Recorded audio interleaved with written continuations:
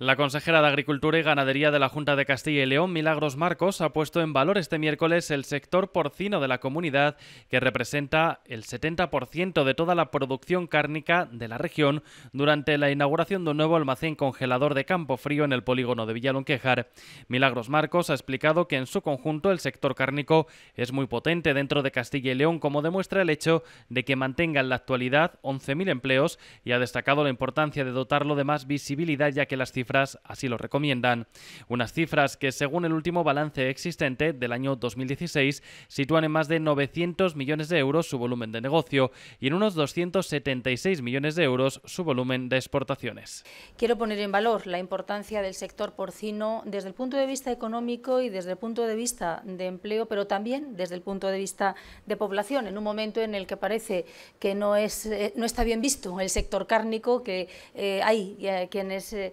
están poniendo en duda la capacidad de generación de empleo y de actividad económica. Creo que hay pocos ejemplos como este en el que se puede demostrar palpablemente cómo se genera actividad económica, se genera empleo y visibilidad también y negocio hacia el exterior, desde Castilla y León, desde las explotaciones porcinas de Castilla y León a Dubái, a Asia, a países eh, de todo, de todo el mundo. En relación a Campo Frío, Milagros Marcos ha remarcado que se trata de una firma líder y ha agradecido su peso en la comunidad, a la vez que ha reconocido la importancia de que haya elegido de nuevo Burgos para afrontar una nueva expansión del grupo. El nuevo almacén congelador de Campo Frío cuenta con 5.000 metros cuadrados de superficie y posee una capacidad de 5.000 toneladas, el equivalente a 8.400 pales. El almacén ofrece a la firma cárnica un mayor control de calidad de sus productos, así como asegurar la trazabilidad de los mismos, optimizando costes.